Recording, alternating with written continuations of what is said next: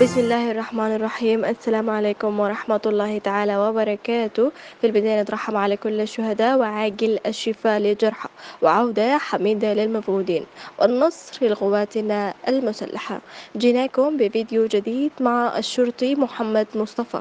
كامل التفاصيل حول موقف العملياتية صباح هذا اليوم في سنير والخرطوم وبحري ومصفى الجيلي وفي الجزيرة والفاشر والنيل الأبيض والمهندسين وفي كرري وأمبدة والصالحة وجبل مويا وبابا نوسة ومنطقة الزرق لا تنسوا تعملوا like و share على لايف اس 24 ليصلكم كل جديد.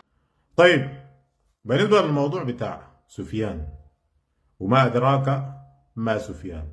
سفيان عمل في نفسه براو سفيان متردد وسفيان متخوف من حاجات كده وخدت له هلاوس كده في راسه وحركته تقيلة والآن بقت فوقه يعني.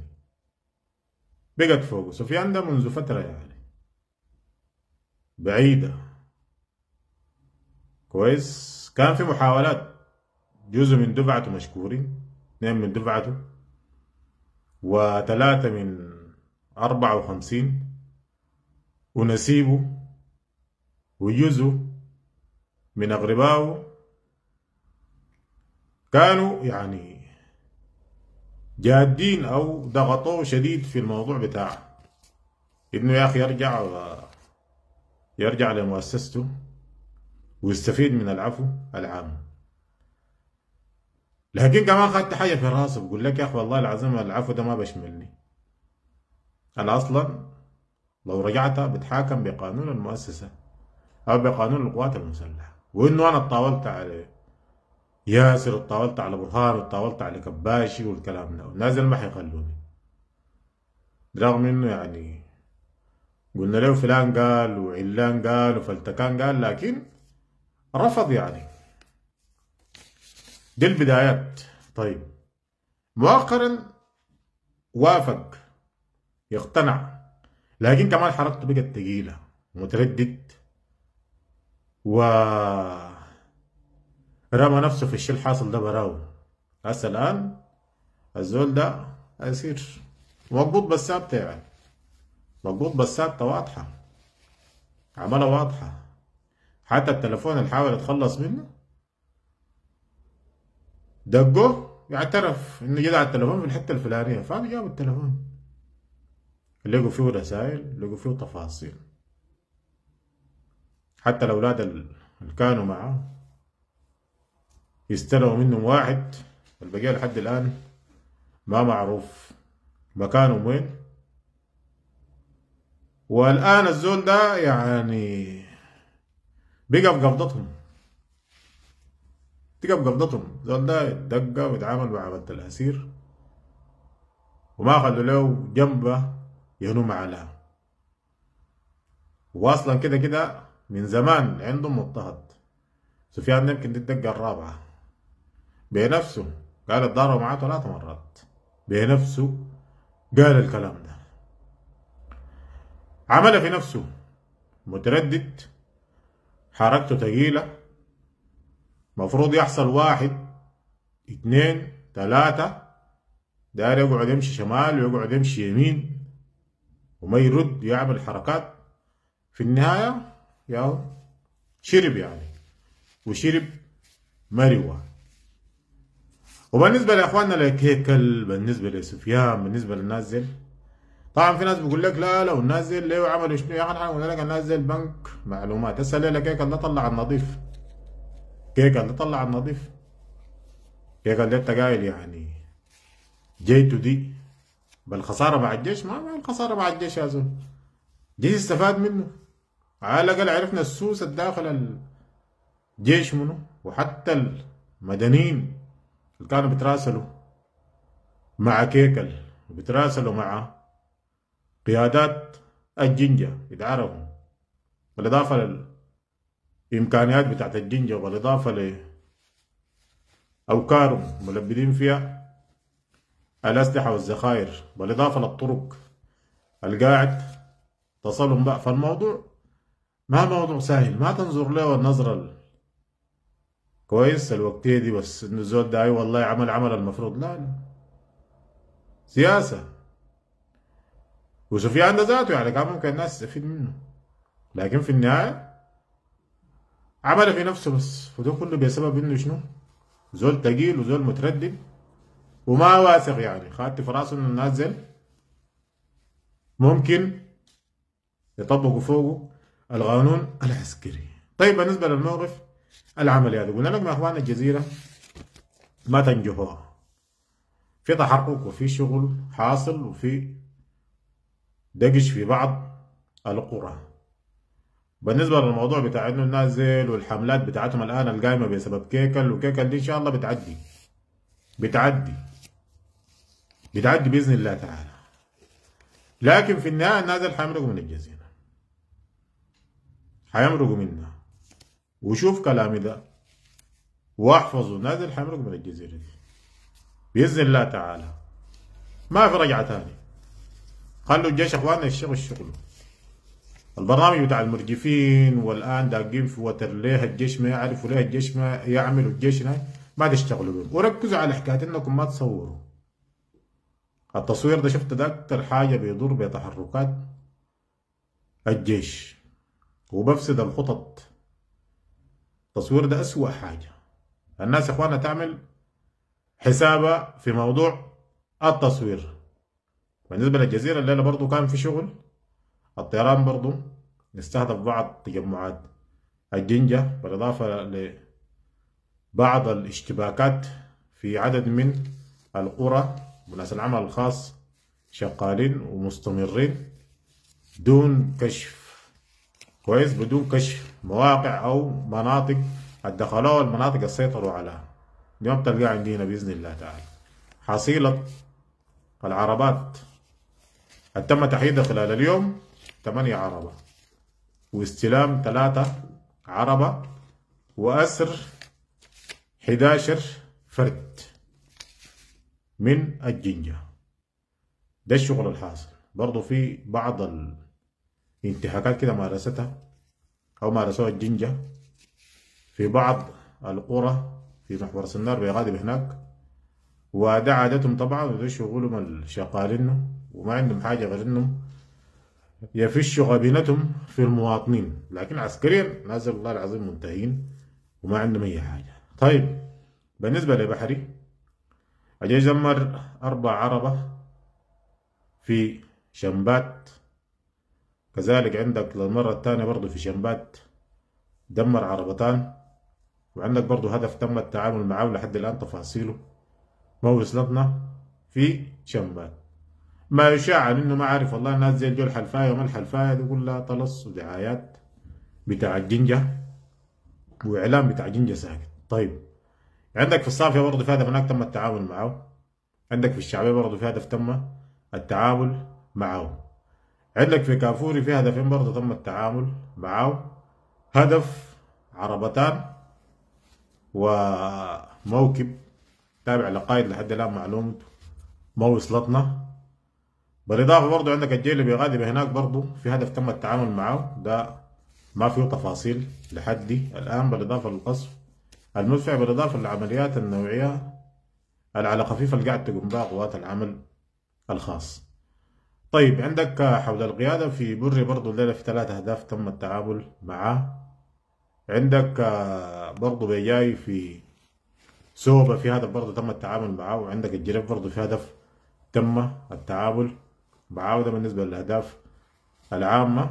بالإضافة برضو للمعمورة في هدف برضو تم التعامل معاه وشارع ستين برضو في هدف تم التعامل معاه بواسطة مسيرة.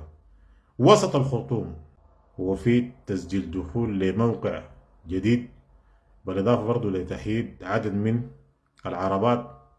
في مرة أو الهدف الأول أربعة عربة تم التعامل معاه بالإضافة برضو لعربتان تم التعامل معاهم بالإضافة لصرصر تم تحييده. بالإضافة لمخزن تم الاستيلاء عليه.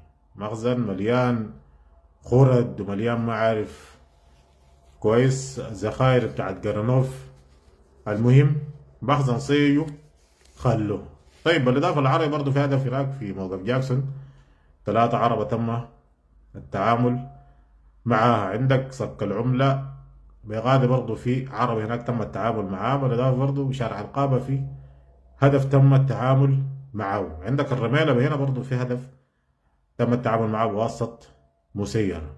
كذلك عندك الصحافة برضه في هدف تم التعامل معه طيب جنجا الرواد والناس اللي قاعدين ديل شايف في جروباتكم قاعدين تعيطوا وإنه الناس دي دايرين يلقوكم ما عارف قنبان والناس ما عارف تجهز موية وتجهز سيارات؟ ما بحل لكم والله. والله ما بحل لكم. وزي ما قلت لك الرواد ده إن شاء الله قريبا قريبا قريبا حيتم تسجيل الدخول له. قريب جدا ما بعيد. كل الترتيبات اكتملت والحمد لله بغادي هناك القشم ما مقصرين والتجهيزات وتعزيزات جديدة والأمور ماشية. برضو يوم الخطم بغادي هناك عندك ناس العمل الخاص ما واقفين ويدهم ما فاضية. ثلاثة عربة.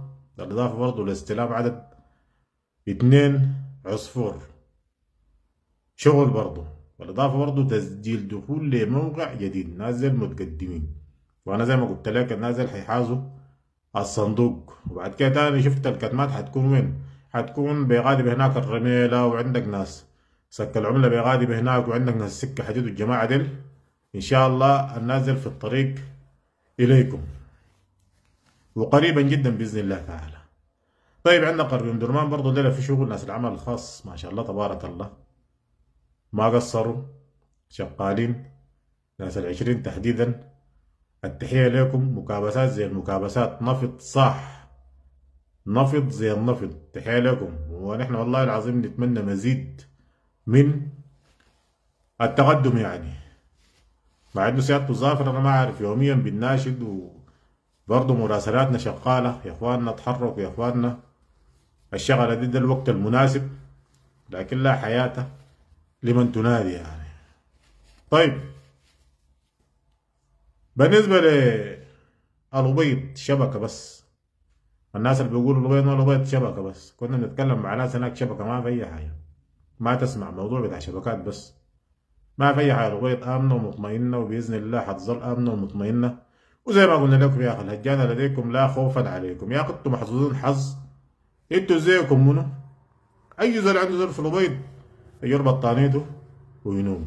طيب بالنسبة للفاشر برضه الأمور بغالب هناك مرتبة.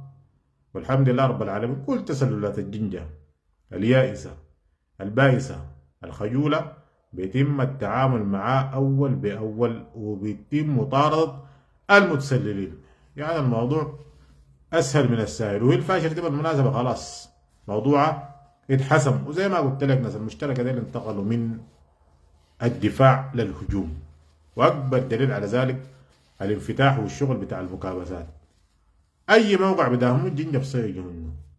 ثبات صفر عند الجنجة. بالإضافة برضه قلنا لك للناس الناس المشتركة برضه لسه سايقين. وحيقرشوا في حتة في الأيام الجاية دي بإذن الله. التحية لهم التحية المشتركة. رغم إنه الأيام دي في حملة.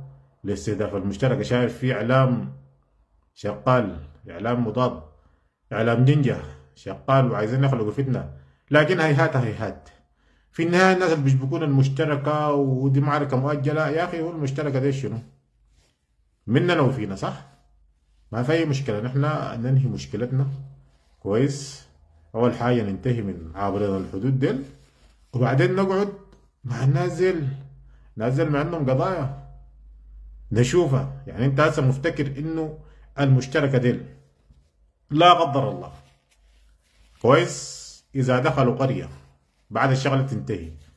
إذا رجعوا للحرب ودخلوا قرية يعني بيحصل نفس الشيء اللي بيحصل من الجنجة؟ أتحدى يزول والله الناس ما عندهم شغلة مع المواطن والله وقتهم الكان شفت كويس؟ وقتهم الكان بيدخلوا المناطق دي والله ما عندهم شغلة مع المواطن أتحدى يزول يقول المشتركة دي دخلوا وقلعوا ولا جو لحد مدير مادي شفتهم عملوا حاجة؟ ما عملوا أي حاجة. حتى الناس ال... كويس الخالفوا منهم. اتعملت لهم محاكمات ميدانية. الناس اللي عندهم قانون بردعهم عندهم قانون بحكمهم وعندهم توجيهات عليا. ما زي الجنجة ديل عاملين كنترول عليه جماعتهم يعني. ولحد هنا إخواننا ونقيف و... وإلى نلتقي غدا بإذن الله. والسلام عليكم ورحمة الله تعالى وبركاته. والناس تتفاعل خير يا إخواننا والدعاء اهم حاجة السلام عليكم ورحمة الله تعالى وبركاته. آه، بحري كانت فيها جغمة كبيرة جدا جدا آه، في منطقة آه، دناغلة وهل حمد. طبعا أمس كانت جغمة كبيرة جدا جدا آه، في داخل كافوري برضو كانت فيها جغمة كانت يعني سبع عربات آه، في داخل آه، خرطوم في داخل كافوري. نصر وانتصار قريب إن شاء الله. آه، في خرطوم برضو كانت يعني جغمة كبيرة جدا جدا آه، في داخل الأمارة. آه، أمارة كانت فيها قناصين كانت جغمة كبيرة جدا جدا في داخل أمارة وبرضو في الشارع 60 آه، كانت جغمة كبيرة جدا جدا من ارتكاز ارتكازات الجنجويد. طبعا في داخل آه، شارع شارع الستين كانت جغمة كبيرة جدا من ارتكازات آه، جنجويد كانت. ونصر قريب إن شاء الله. آه، برضو في آه، منشية كانت برضو جغمة كبيرة جدا وانتصار كان كبير جدا جدا آه، في آه، منشية وشارع الستين وفي داخل كانت في أمارة كانت جغمة كبيرة جدا جدا آه، في آه، منشية وكافوري والشارع الستين. وانتصار قريب إن شاء الله. آه، برضو كانت في فاو كان جغمة كبيرة جدا من آه، تجمعات جنجويد طبعا آه، في آه، داخل أو في أطراف آه، الفاو آه، فيها تجمعات كانت آه، بتاع جنجويد كانت جغمة كبيرة جدا جدا آه، في آه، فاو وبرضو كان محور آه، سكر سنار برضو جغمة كبيرة جدا آه، من آه، عربات. لكن عربات الجغمة كانت يعني ما وردنا يعني والنصر قريب إن شاء الله.